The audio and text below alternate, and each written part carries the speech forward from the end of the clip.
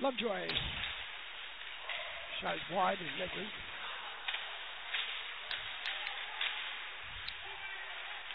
With the puck.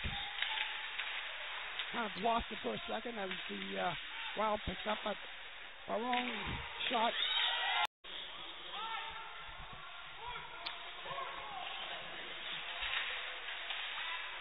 So Star's got uh, a man on the bench for tripping.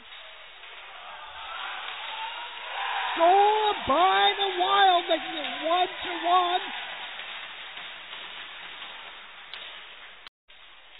Stars with the advantage. Flynn with the puck.